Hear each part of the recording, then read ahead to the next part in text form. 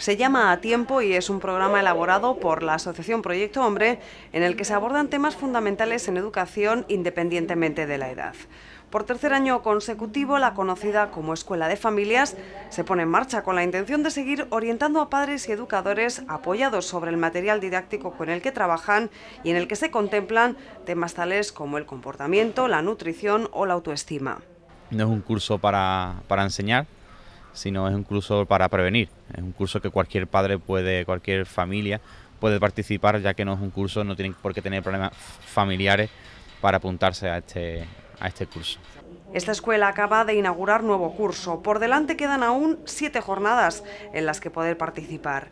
Las sesiones se llevarán a cabo los lunes en horario de 5 a 7 de la tarde en el Polideportivo El Carmen. La próxima cita está programada para el día 27 de octubre.